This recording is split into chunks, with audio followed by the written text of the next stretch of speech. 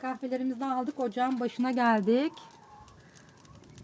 Şöyle ekmeğimizi de koyduk. Bir yandan ekmeğimiz pişiyor. Mısırlarımız kaynıyor.